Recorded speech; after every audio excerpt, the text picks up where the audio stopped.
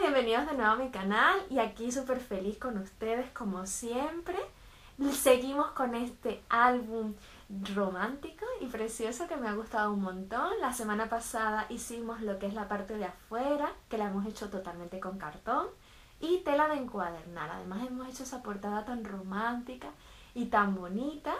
Y en el vídeo de hoy, aquí tengo mi álbum, que me lo he traído hoy también, con su bolsita, que me encanta. Y bueno, esta es muy mi estilo, esta bolsita. Y las cajitas también me gustan. Pero bueno, las bolsitas actualmente me están dando, me están gustando más.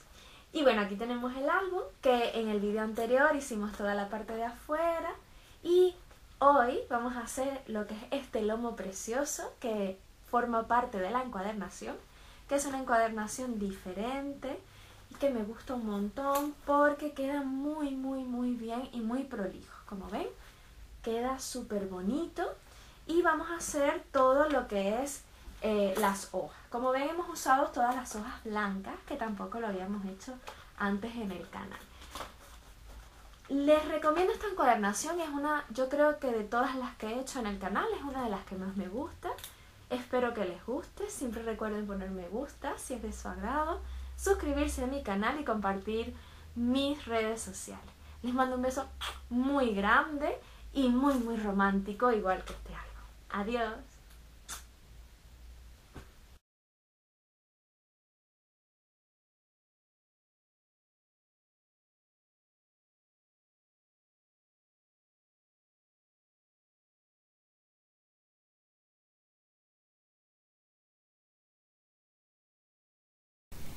Y vamos a empezar. Una vez que ya tenemos todo lo que es la parte de afuera, el cartón que hemos hecho con cartulina y tela para encuadernar, que lo hicimos la semana pasada. Ahora vamos a hacer lo que es la portada. Saben que esta es mi parte favorita. Y bueno, esta portada va a ser bastante sencilla porque yo creo que este tema tiene que ser bastante sencillo y muy delicado. Pero si es verdad que quien me lo ha pedido, me ha pedido que sea como típico de mis álbumes, con muchas cosas en la portada. Aunque parezca mentira, yo soy mm, bastante sencilla, pero bueno, yo tengo que hacer lo que las personas me piden y la verdad que ese estilo gusta mucho.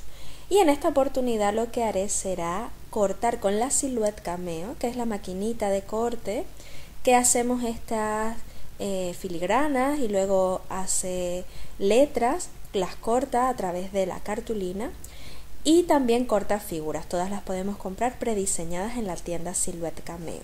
En mi caso yo he comprado ya prediseñadas y lo que he hecho es agregar a un cuadrito el nombre de la pareja que se va a casar y nuestro compromiso. Además he bajado y he comprado en la tienda de Silhouette que cuesta 0,80 céntimos esta pareja de novios como pidiéndole compromiso y lo que he hecho es pegar una tras otra para que sea mucho más elevado y así dé mucha más personalidad al álbum, no quede una simple cartulina, sino que quede como una especie de maderita. Luego, pues una pequeña eh, tablita que ya se los he dicho antes, la corto en una carpintería, es prácticamente gratis, un trocito de este tipo de madera que no es madera sino que es como una madera sintética pero parece madera. Y le pongo un poquito de tinta. Estas tintas me lo preguntan mucho las pueden encontrar en eh, Amazon en AliExpress o en tiendas de manualidades de scrap y luego unas flores que también las compro en AliExpress son muy económicas y se las he recomendado antes. Y así queda nuestra portada preciosa. He puesto amor es amor eh, y luego, bueno, queda muy sencilla, pero bastante, bastante bonita porque ya nuestro fondo es bastante intenso con esas flores y ese estampado así muy con muchos colores. Entonces, por eso la decoración tiene que ser un poco más sencilla. Y ahora vamos a hacer esta encuadernación. Estoy súper contenta de mostrárselas porque, bueno, la verdad que es como una variación de la encuadernación que siempre hemos hecho, pero muy fácil. Yo creo que no hay una encuadernación más fácil que esta, porque simplemente vamos a tener eh, cartulinas de estas grandes que venden en las librerías o en los bazares chinos. Estas cartulinas tienen unos 60 centímetros de largo y lo que haremos será cortarla a 26 centímetros y vamos a cortarla a todo lo largo, 26 centímetros y la vamos a plegar a los 26 centímetros, luego a 0,5 centímetros y el sobrante lo cortaremos a los 26 centímetros. Es decir, que a mí me tiene que quedar una cartulina blanca de ancho 26 centímetros y de largo 26 más 0,5 más 26. Esto lo voy a repetir tantas veces sea necesario como el grosor de mi lomo. Yo lo he repetido 8 veces, 8 de estas cartulinas. Se necesitan 8 porque 26 centímetros de ancho no nos alcanza para partirlas a la mitad. Y volvemos a hacer lo mismo. Plegamos a los 26 centímetros, a 0,5 centímetros y cortamos el sobrante a 26 centímetros. Si nosotros hacemos la cuenta, entonces nos tiene que quedar 26 más 0,5 más 26 son 52 centímetros más los 0,5 de la solapa serían 52 centímetros y medio. En conclusión, una cartulina de 52 por 26 centímetros, que plegaremos a los 26, a los 0,5 y a los 26. Y me va quedando esta especie, una vez que yo ya las una, como esta especie de eh, encuadernación, porque me queda una solapa que yo pegaré a la base y de esta manera cada cartulina no soporta tanto peso. El peso que soportará será el peso que tengan las cuatro hojas o las dos, las cuatro páginas o las dos hojas a las cuales yo decore. Una vez que ya yo alcance todo el grosor de mi lomo, voy a hacer unos agujeritos porque esto me va a servir para decoración y además para reforzar lo que es mi encuadernación. Yo hago las dos cosas. Yo las pego, estos Gellet, que son una especie de, mm, de hierritos redondos que también los compran en tiendas de manualidades o también los venden en el Express, se llaman Egelet. Y lo que hago es pegarlos y también además presionarlos con la cropada. Y ahora sí, vamos a empezar. Lo que haré será aplicar pegamento y en mi caso será pegamento de silicón caliente con la pistola encoladora porque es el pegamento más resistente y además también podría usar cola para carpintero que también me funcionaría. Yo como lo quiero hacer más rápido lo voy a hacer con esto. ¿Y qué hago? Pues refuerzo con un cordón, en mi caso es un cordón de yute.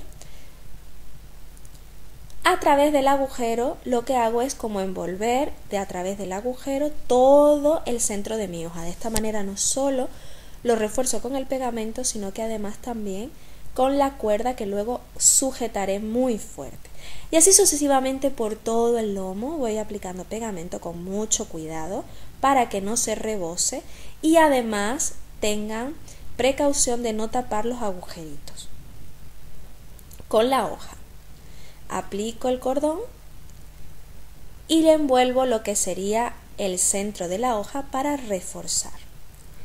Como yo tendré más hojas que agujeros, en algún agujero necesitaré introducir dos cordones. Es totalmente normal y no hay ningún problema. Aplico pegamento y pego mi siguiente hoja. Tengan mucho cuidado de que sea muy recto y que quede pegado a la anterior. Y hago lo mismo. Paso mi cordón a través del agujerito y refuerzo el centro. Y así sucesivamente tantas veces como sea el grosor de su lomo. Como mi lomo es de 6 centímetros, y mi base de solapa es de 0,5 van a ser unas 8 para que me quede un espacio a los lados para que no quede tan justo y ya me queda solo pasar un cordón por el centro de una de las hojas y listo ya tengo todos mis agujeritos cubiertos ven como ven en este agujerito tengo que pasar dos cordones porque no tengo suficientes agujeros pero eso es mucho mejor que hacer muchísimos agujeros. Yo máximo 5 agujeros les recomiendo, además que queda perfectamente porque son continuos los agujeros.